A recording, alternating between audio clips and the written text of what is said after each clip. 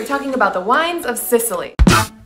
Okay guys, if you haven't had a Sicilian wine yet, it is definitely time you try one. The values are insane and these wines are fantastic. For most of the 20th century and even today, Sicily has been dominated by bulk wine production. This tiny island produces over 500 million liters of wine a year. Luckily, this trend is moving in the other direction. Producers are starting to take advantage of the absolutely ideal conditions for wine. The Mediterranean climate with volcanic soils that are low in nutrients, which is a good thing, and growers are starting to plant at higher elevations throughout Sicily. This creates larger temperature swings from day to night, which retains the acidity and evens ripening. These two producers, Benanti and Occhipinti, are great representations of what commitment to quality can do in Sicily, and you should totally seek them out. Benanti has been making high quality and affordable wines from Mount Etna for over 30 years. Just in 2012, when the two sons took over, they cut production by over 50% and now only make native Sicilian grapes. This is their Etna Rosso, which is mostly Nerello Mascalese, similar to Pinot Noir but with a little more grip to it. This was only $24 and really